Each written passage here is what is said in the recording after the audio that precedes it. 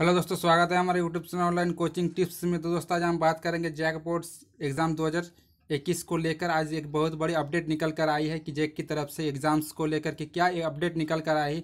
तो सारा कुछ डिटेल्स हम आपको इस वीडियो में बात करेंगे, ठीक है? वीडियो अच्छा लगे तो लाइक कमेंट शेयर ज़रूर कीजिएगा। और अभी तक मेरे चैनल को सब्सक्राइब नहीं किए तो प्लीज़ सब्सक्राइब कर लीजिएगा और बेल आइकन को प्रेस कर ऑन नोटिफिकेशन को ऑन कर लीजिएगा, ताकि इस तरह का ऑफिशियल अपडेट आपको आसानी से मिल जाएगा। जो हम आज बात करने वाले हैं, जैक की तरफ़ से एक मैट्रिक और इंटर का जो अपडेट आया हुआ है, ठीक है, मैट्रिक के एग्ज़ाम्स को लेकर क्या मैट्रिक के एग्ज़ाम्स कैंसिल हो सकती है और इंटर का क्या होगा, इसका कुछ सारा कुछ डिटेल्स हम आपको इस वीडियो में बात करेंगे।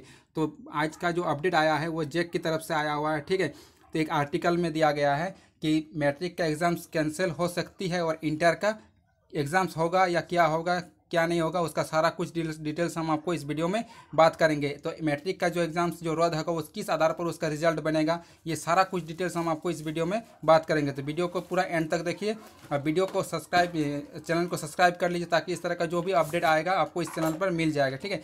और वीडियो को ज़्यादा से ज़्यादा शेयर करें, ताकि सबको ये पता चले, ये अपडेट आपको पता चले, ठीक है? तो चलिए मैं आपको दिखाते हैं। तो वीडियो अच्छा लगा तो लाइक ज़रूर कीजिएगा, और ज़्यादा से ज़्यादा कमेंट कीजिएगा, ठीक?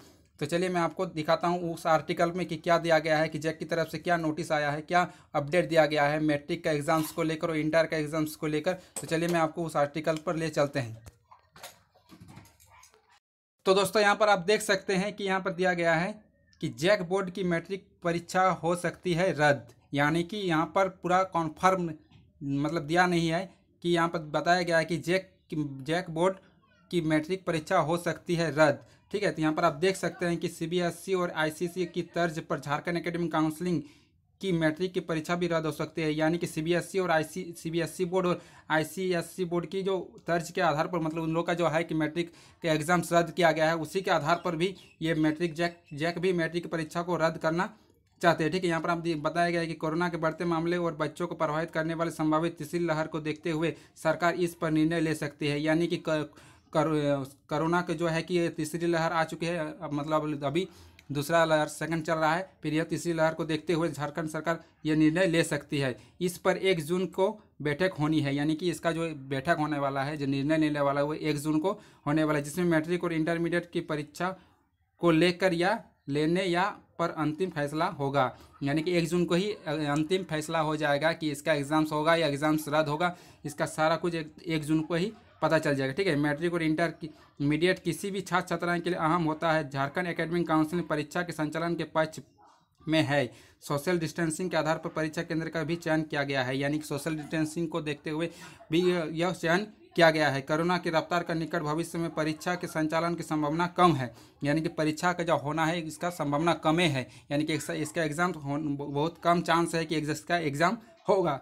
परीक्षा के आयोजन में, उनमें कोरोना संक्रमण फैलने की संभावना बढ़ सकती है। यानी कि इसका एग्ज़ाम अगर लिया जाता है तो इसका, इसमें जो है कि कोविड नाइन्टीन नाइन्टीन का जो है कि महामारी ज़्यादा फैल सकती है।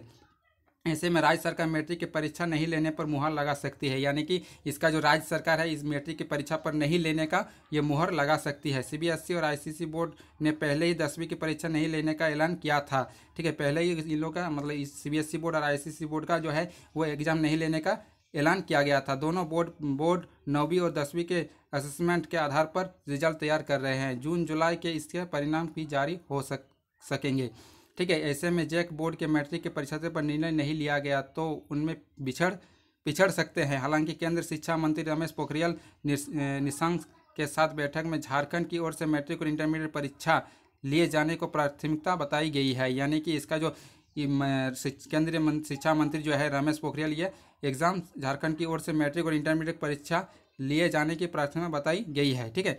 तो यहाँ पर आप देख सकते हैं कि किस आधार पर अगर इसका एग्ज़ाम रद्द होता है तो किस आधार पर इसका रिज़ल्ट बनेगा? तो यहाँ पर आप देख सकते हैं कि नौवीं का नौवीं का हो सकेगा आधार। मैट्रिक की परीक्षा देने वाले छात्र छात्राओं का दसवीं क्लास में असेसमेंट नहीं हो सका। कोरोना महामारी की वजह से पिछले चौदह महीने से स्कूल का संचालन नहीं के बराबर हुआ है। ऐसे में मैट्रिक का परीक्षा रद्द होती है तो नौवीं क्लास के रिज़ल्ट के आधार पर छात्र छात्रा पास किए जाएँगे, यानी इसका जो रिज़ल्ट बनेगा वो नौवीं के आधार पर इसका रिज़ल्ट बनेगा, ठीक है? यहाँ पर आप देख सकते हैं, दो हज़ार बीस में नौवीं का रिज़ल्ट नाइन्टी सेवन फ़ीसदी था। इसमें मैट्रिक में शामिल होने वाले करीब four point three zero lakh परीक्षार्थी पास कर सकते हैं, ठीक है? यहाँ पर आप देख सकते हैं कि ये इसका जो एग्ज़ाम्स का जो मैट्रिक का एग्ज़ाम्स का जो रिज़ल्ट बनेगा वो नौवीं के आधार पर इसका रिज़ल्ट बनेगा। तो यहाँ पर आप देख सकते हैं कि यहाँ पर बताया गया है कि परीक्षा हुई तो रिज़ल्ट में होगी देरी। अगर इसका एग्ज़ाम्स मैट्रिक्स का अगर एग्ज़ाम्स लिया जाता है तो इसका रिज़ल्ट के लिए बहुत देर हो जाएगा। तो इसका सेशन जो है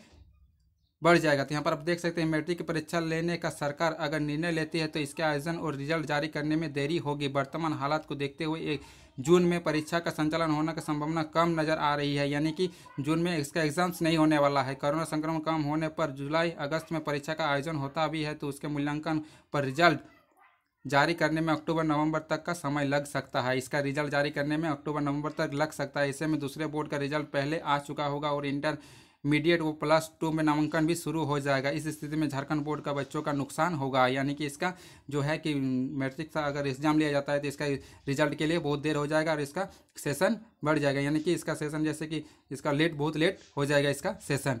ठीक है? तो यहाँ पर आप देख सकते हैं कि इंटरमीडिएट का क्या होगा?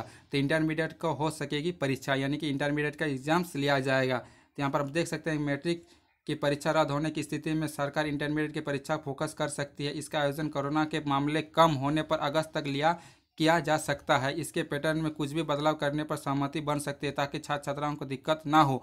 इंटरमीडिएट की परीक्षा नहीं लेने से मार्क्स के आधार पर विश्वविद्यालय में ग्रेजुएशन एवं नामांकन की समस्या आ सकती है। अगर इसका एग्ज़ाम, इंटर का अगर एग्ज़ाम नहीं लिया जाता है तो इसके मार्क्स जो नंबर जो आएगा तो उसके जो ग्रेजुएशन में जो एडमिशन लेगा, उस पर आपका असर आ सकती है, समस्या, प्रॉब्लम आ सकती है, ठीक है? तो इसमें से क्या होता है कि मैट्रिक का रिज़ल्ट रद्द हो सकती है और इंटरमीडिएट का एग्ज़ाम्स होगा। तो में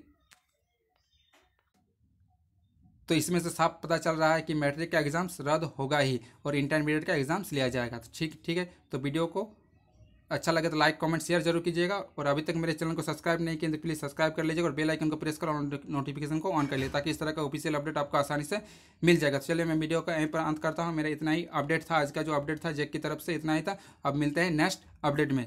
ठीक है?